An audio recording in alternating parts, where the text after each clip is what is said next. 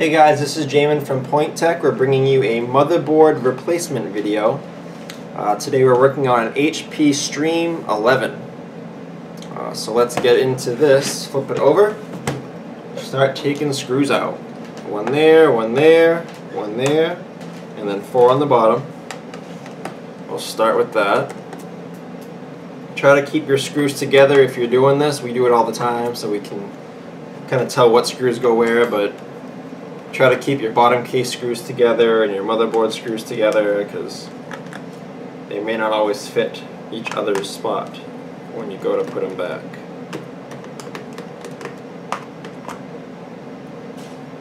Magnetized screwdriver helps. If you don't have one, just set your screwdriver on a, a big battery, sorry, not a battery, a big magnet for 15-20 minutes. Alright, so those screws are off. Uh, if, if you notice, this computer has rubber feet. Uh, some people like hiding uh, screws under there, so let's check it out. Take a, a small flathead. Be careful because you can break these, but slide it underneath, pry it off. Okay, so there's none, no screws under there. It'll stick back on. I'm assuming that goes for that one. Alright, so let's try this one here. Oh, yep, Alright, so we got screws in our, our backside ones. Alright, so let's take those out. And that's good you found those because you'll be trying to muscle this thing off, which you can do, it's plastic. But you'll break it if you don't have all the screws off. Alright. There are also two little rubber feet in the corners. Let's see if they hit screws in there. Yes, they did.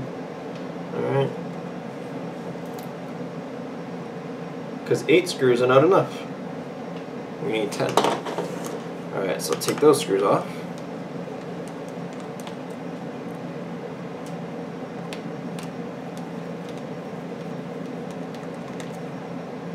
Alright, so fairly confident I have all my screws off.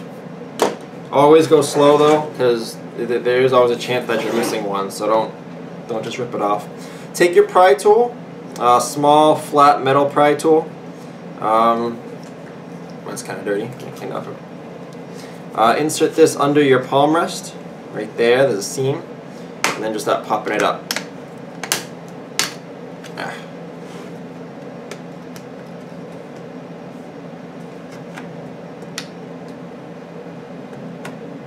Hmm. Being a little pain in the butt-ish.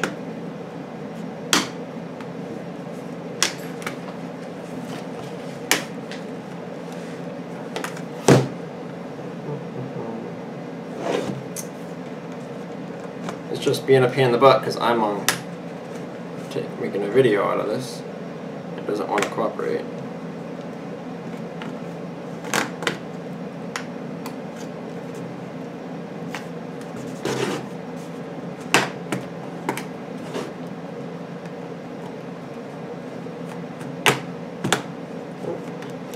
Just gotta keep going around, find that sweet spot where it actually is gonna respond to what you're doing.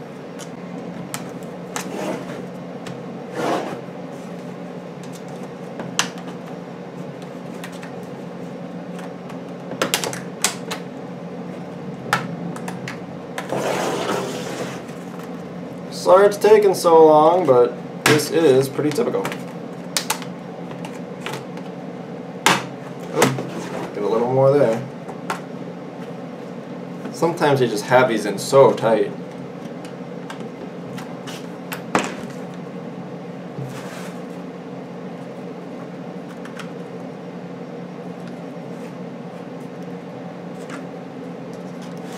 You know what it's looking like? It's looking like the battery stuck to it. Woo! There we go. Alright, so that finally came off. Muscle did a little too much, but luckily I didn't break it. So, these are the clips that came off. I'll show you, this should have come up like this. But I'll show you the clips that came off. This first clip is your uh, keypad clip. That was inside like this. Uh, this clip went in here. I'll just show you how to take these off.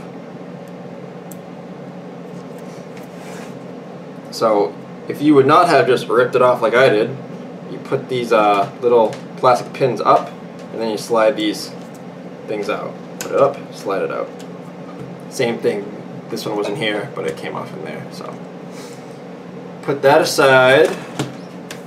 I think we're stuck to the battery, I think. So this is what the insides look like, and again, we're going after your motherboard. One thing we always do at Point Tech is we unplug the battery first.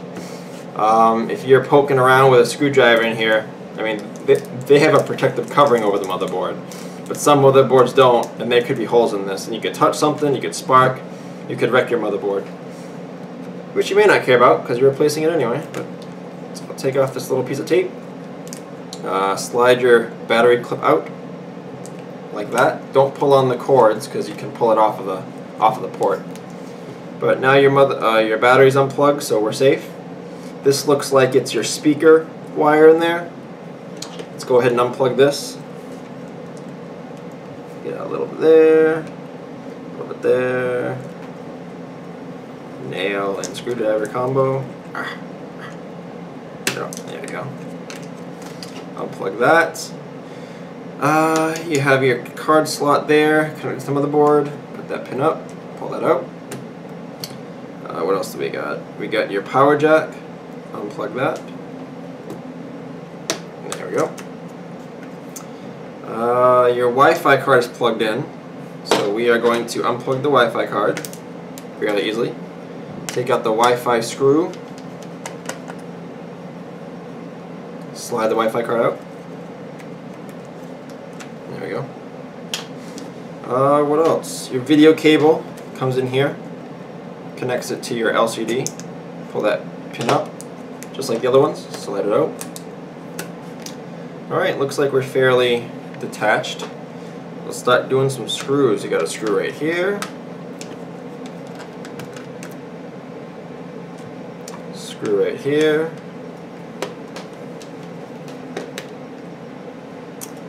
Another one over here. Another one over here fair amount of screws in this motherboard. There. Okay, I think I got them all. Alright, quick look real quick. I think I got them all. So let's pull this thing out. Uh, sometimes it gets stuck here with your USB ports to wiggle it out of there. What's this? There you go. Little There you go. There's your motherboard. So at this point you would take your new motherboard now slide it into just where this came from, get it into your USB ports, and make sure you don't put it on top of any of these cables or ribbons that you're going to plug into it because you get it all screwed down and then you'll lose them. I'm going to put this little plastic thing back in there. Must have been there for a reason. Try to always do that. If, if you see a piece of tape that they have, try to keep it where it's supposed to be. If you see a little uh, cushioning like that, I mean, they're all in there for a reason, so your computer will just work better with them all in. Now I'm going to go through and put all my screws back in my motherboard. Hopefully you either remembered where they were or you had a, a uh, marker or something and you marked where the screws are. It's also good sometimes to uh, take a picture with your cell phone of where all, all these screws went.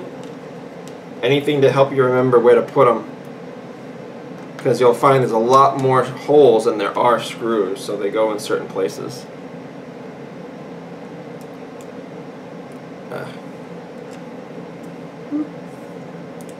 Oh, yep, I missed one right here.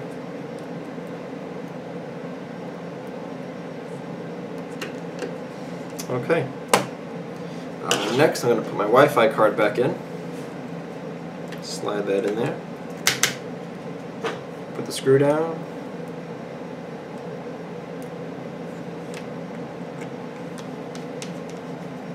Alright.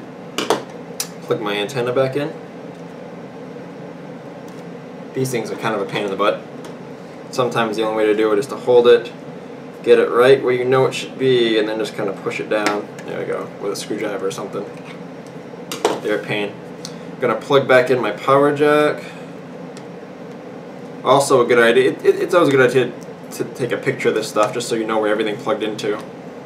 Because you don't want to think you plugged everything in, close all this up, and then realize you didn't plug in your power jack and it won't charge, or you didn't plug in your speakers and you don't get any sound. So, taking a picture when you're new at this is always a good idea. Video cable. Make sure everything's in there nice and secure and flush. I'm actually going to reseat this one because I think I may have got it in crooked.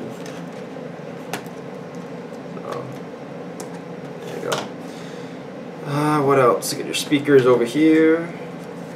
Not a lot of room in that cable. There you go. Alright, got my ribbon there. Antenna, Wi-Fi. Alright. Last but not least, plug in my battery.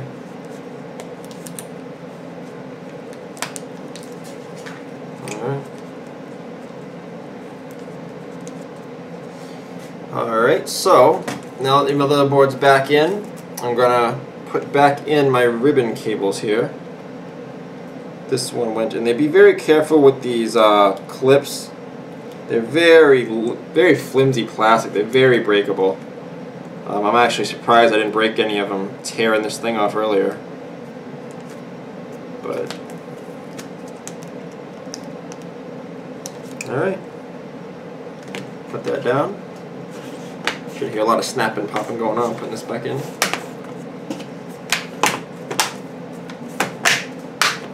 Snap, snap, snap, snap, snap. Alright. Snap that all back in. Then you would replace your uh, screws in those two things, put those two little rubber stoppers back, put the screws in here, put the two round rubbers back, and then your screws in here. And that is how you would replace the motherboard on an HP Stream 11. Uh, if this was helpful, please like the video. If you like do-it-yourself laptop repair, please feel free to subscribe. And thank you for watching.